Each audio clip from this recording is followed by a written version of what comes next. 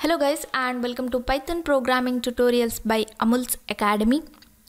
Today in this tutorial we are discussing about time module. Using the methods which are belongs to time module we can get current date, time, day, year, month. So to use those method first we need to import time module. So first import time. Next to get the current time we need to use time method.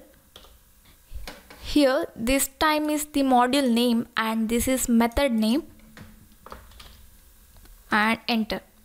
And here we can see the output. Here time is in seconds since 1970 Jan 12 am but this is not in the pleasant way right? Seeing this we can't say the time. We'll use our minute second method right so to represent this in the other format, we'll use local time method. That is time module name and local time. And here time dot time okay? This method local time will give output as a tuple.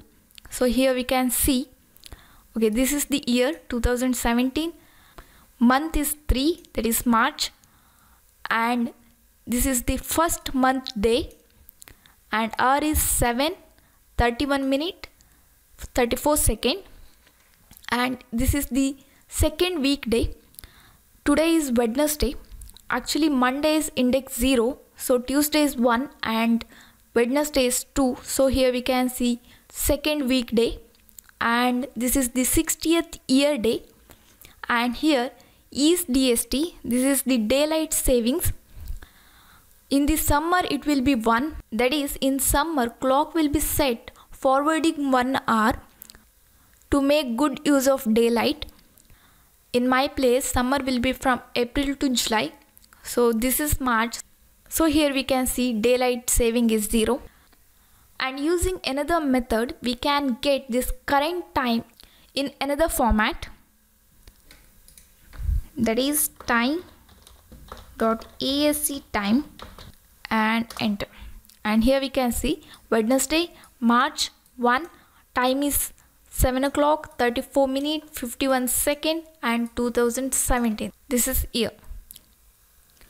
Okay that's it for now. Thank you for watching. Don't forget to subscribe my channel. I'll meet you in next class. Till then take care